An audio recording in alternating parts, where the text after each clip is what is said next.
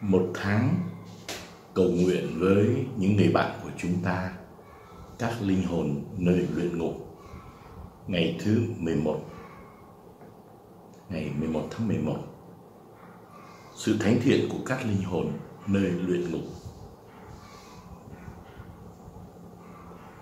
Trước tiên chúng ta thắc mắc tại sao lại gọi là các linh hồn thánh thiện. Thứ nhất vì họ yêu mến thiên chúa. Thánh nữ Catarina thành Jane nói, mọi linh hồn ngay khi vào luyện ngục đều cao quý ở tình trạng hoàn thiện và kết hợp với thiên chúa. Có thể làm mẫu gương cho những người thánh thiện nhất trên cõi đời này. Ở luyện ngục, thật vậy có đông đảo các linh hồn được tiền định. Họ đã chiến thắng những đam mê dục vọng của mình đã thắng thế gian và ma quỷ, đã thực hành những nhân đức anh dũng nhất và đã ra khỏi nơi lưu đày ấy với đầy công trạng. Họ sẽ chiếu sáng như những vì sao trên bầu trời nếu áo của họ không bị dính một vài hạt bụi của trần gian. Vâng đó là những linh hồn đẹp, thánh thiện qua đời với tất cả sự bất toàn cái quý giá nhỏ nhất thì đáng giá hơn tất cả vũ trụ vật chất. Họ yêu mến thiên chúa một cách tối thượng và toàn diện. Tình yêu này làm họ yêu mến những đau khổ và sự công bình đã giữ họ lại nơi đền tội. Liệu người ta sẽ mở cho họ những cánh cửa thiên quốc mà họ lại muốn ở lại trong những ngọn lửa thanh luyện hơn là vào trong vinh quang với một vài bất toàn nhật nhỏ nhặt? Họ chỉ có thể cảm tạ đấng yêu dấu đã chuẩn bị cho họ một nơi đền tội, để họ đạt được vẻ đẹp rực rỡ, phù hợp với đấng phu quân của mình. Và hơn cả ông Job, ở giữa những đau khổ của mình, họ luôn nói không ngừng, xin cho danh thánh thiên chúa được chúc tụng. Chúng ta hãy động lòng trắc ẩn với những linh hồn thánh thiện này, bởi vì họ cần hơn bao giờ hết sự trợ giúp của chúng ta một ngày kia những vai trò này sẽ thay đổi. Họ sẽ trở thành những người che chở chúng ta trong thiên quốc, những người trung gian bên cạnh thiên chúa.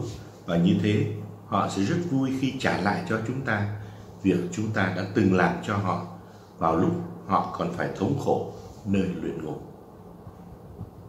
Lý do thứ hai, họ là những linh hồn được thiên chúa yêu mến. Có một tác giả nó đã viết nếu thiên chúa yêu chúng ta là những tội nhân khốn nạn quá bất toàn, quá thiếu thốn những nhân đức và công phúc, thì thiên chúa lại còn yêu biết bao nhiêu linh hồn thánh thiện nơi luyện ngục hơn nữa. Họ thuộc về người mãi mãi và những người nhìn thấy vẻ đẹp rực sáng của những con người được ưu tuyển này. Thật vậy, họ vô cùng quý báu đối với thiên chúa. Đó là những hiền thê những đứa con yêu quý của chúa giêsu những người con thừa kế vinh quang của thiên chúa cha, họ được gọi để chúc tụng người đời đời trong thiên quốc tất cả những linh hồn này là những viên đá sống động được dành cho việc xây dựng Jerusalem trên trời. Cái đục, cái bào của nhà điêu khắc gia Thiên Chúa sẽ hoàn thành việc gọt đẽo mài bóng trước khi đưa họ vào vị trí mà người đã tiền định cho họ từ ngàn đời. Thiên Chúa yêu mến họ thật dịu dàng. Người chiêm ngắm họ với lòng yêu thương. Người ao ước mạnh mẽ được kết hợp với họ Tấm lòng hiền phụ của Thiên Chúa rất đau buồn vì sự lưu đày khốn khổ của họ. Nhưng đức công thẳng của Thiên Chúa và lòng nhân lành của người cũng có những quyền của nó, đã cầm giữ những linh hồn này trong ngục tù cho đến khi họ trả xong hết mọi món nợ cuộc đời của mình. Thế nên vui mừng biết bao đối với Thiên Chúa là cha nhân lành và dịu dàng này. Nếu một người bạn, một người trung gian là chính chúng ta can thiệp vào giữa hình phạt và tội lỗi để làm nguôi nỗi khắc nghiệt và giao hòa người với người con và người yêu quý. Thật có biết bao lý do để yêu mến những linh hồn được chúc phúc này và thực hiện lòng thương xót thật hào phóng đối với họ. Họ thật xứng đáng với lòng chiều mến của chúng ta. Khi chúng ta bố thí cho một người nghèo, chúng ta không biết anh ta có xứng đáng hay không. Anh ta sẽ không phạm tội nữa chăng? Hay vô ơn chăng? Nhưng ở đây chúng ta làm một cách chắc chắn. Đất mà chúng ta gieo luôn luôn trung thành. Mỗi hạt chúng ta gieo xuống nước trời sẽ thu hoạch một hoa trái và chúng ta thì nhận được một phúc lành, một mẫu gương. Thánh nữ Gertrude trong một lúc xuất thần, nhìn thấy linh hồn một nữ tu đã từng sống như nhân đức cao cả nhất trong cuộc đời mình.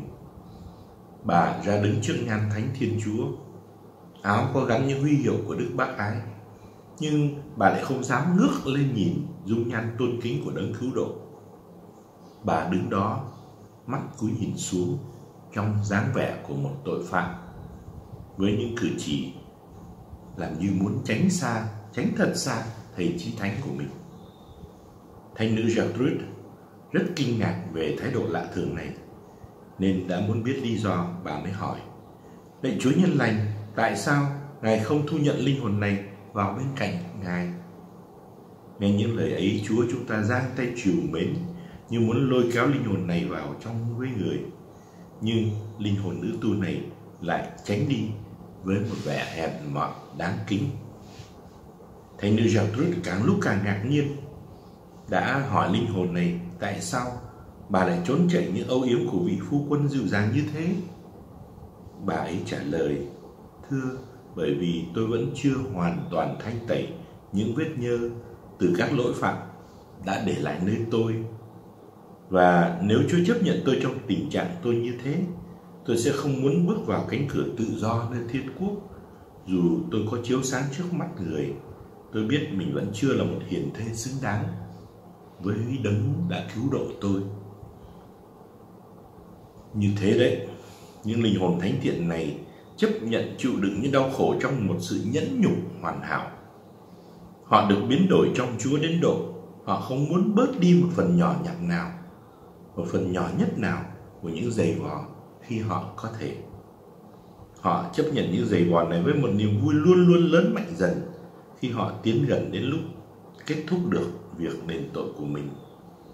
Họ thật xứng đáng với tình thương, với thiện cảm, với tất cả lòng bác ái của chúng ta.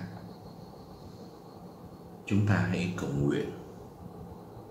Ôi lạy chúa, ngài tha thứ các tội nhân và ước muốn cứu độ loài người, xin hãy đưa mắt nhân lành nhìn xuống những linh hồn nơi luyện ngục.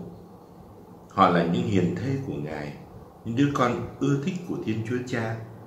Họ đã yêu mến ngài thật dịu dàng và phục vụ ngài một cách can đảm.